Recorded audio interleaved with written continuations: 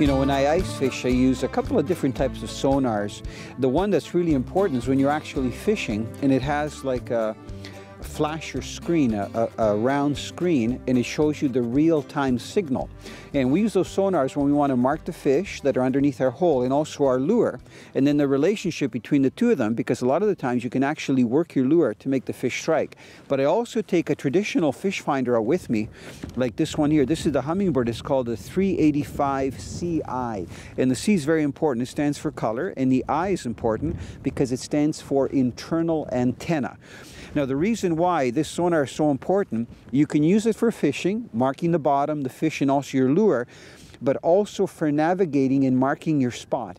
So right now, if you look on the screen, you can see that I have the map of Lake Simcoe on here.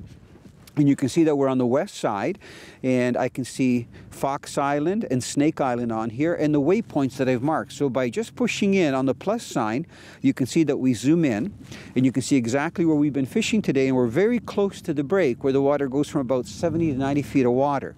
If I hit the view, you can see that I can go into a split screen. Now, I'm not reading the bottom because the transducer is here on this machine. It's not in the water where you can see that I've got all different views here, zoom views and normal standard screen views, and also a flasher mode, but the most important is the one that shows the hydrographic chart. So whether I'm on a snowmobile or I'm on an ATV, if it's really tough navigating, I'll actually put this in front of me and I'll look at the screen because it's a GPS. So I can see where I want to get to, whether it's back to shore or out to my fishing spot, and it could be in the middle of the night or it could be in the middle of the snowstorm. I just have to go slow so I don't run into a shack or another machine, but I can see exactly where I'm going and get there very safely.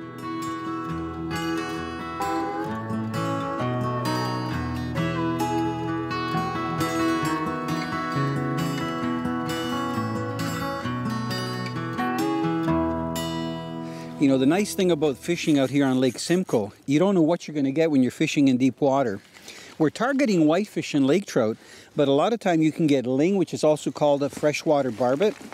You can get herring, which are very few and they've got to be released. And some of them can be like up to a pound, a pound and a half. So this fish I marked on the Humminbird sonar and it hit really well. So this is the part where you got to take it easy. We're using six, six inch holes and instead of bringing a power auger, we just went with the manual one because the ice isn't that thick. You can see the way this fish is head shaking. So this is either a Cisco or a small whitefish. Come on up. Come on.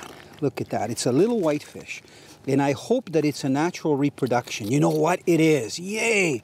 What I'm going to do is hold up this fish out of the water for just a little bit, and then I'm going to let it go really quickly. Now that's a small Lake Simcoe whitefish. Most of the whitefish in Lake Simcoe are upwards of about two kilograms, which is about four and a half pounds. Now the reason this is a natural reproduction fish, or that I can tell, is because no fin is clipped. You see it's got all its fin. It's got its adipose, pelvis, pectoral fins. So it's a beautiful whitefish. It's a young one. I don't think this fish is more than maybe two or three years old, but he sure hit well. So I'm just gonna hold him up real fast here, then I'm going to get him back in the water. Look at that.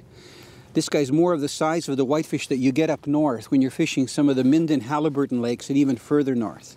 Okay, so I won't hold him out of the water too long. Hopefully you got a good look at him. And I'm going to slide him back in and he's going to take off. There he goes. Now the spoon that I used for that is uh, this fluttering spoon that you can see has uh, one treble hook and then two double hooks on each side. And the size is only about an inch and a half long, which represents one of the many forage fish that are here in the lake. And amongst those, the emerald shiner is probably the most common. There's also juvenile smelt. And some of the larger whitefish that the fishermen are catching here, a lot of times when they cut them open, they'll have four five inch smelts inside them. But that spoon will catch a variety of fish, even a big jumbo perch if he comes by. FisherGirl! Catch the passion! If you're planning on going after large fish that eat smaller fish, one of the best baits you can use is live minnows. Now, sometimes you can't find live minnows or you don't want to use live minnows. Well, then you can use plastic grubs like the ones I'm holding here, anywhere from an inch and a half, four inches, or uh, even in between. Now, Kate's got a small four inch minnow on. Why don't you explain your rig, Kate? Sure, well this is about a four inch minnow attached to a small hook. It sits about a foot and a half above a weight, and this just prevents the minnow from getting stuck in the seaweed or the rocks. Here, let me show you. Okay. Wow, that looks like a real minnow. I like the way it stays up off the bottom. Nice action. See the way it's swimming? Looks just like a real minnow.